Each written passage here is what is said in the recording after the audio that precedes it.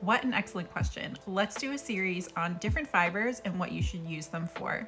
I'm Sarah, I work at Lion Brand, and here's what you need to know about cotton yarns. Cotton is a natural plant-based fiber that's great for spring and summer. Not only does cotton pull heat away from your body, it's really durable, especially mercerized cotton like 24-7 cotton. Cotton is also really absorbent, which is great if you want to make dish towels or scrubbies.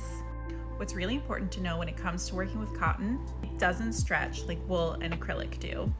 That's why it's a great choice for bags because they won't get stretched out of shape.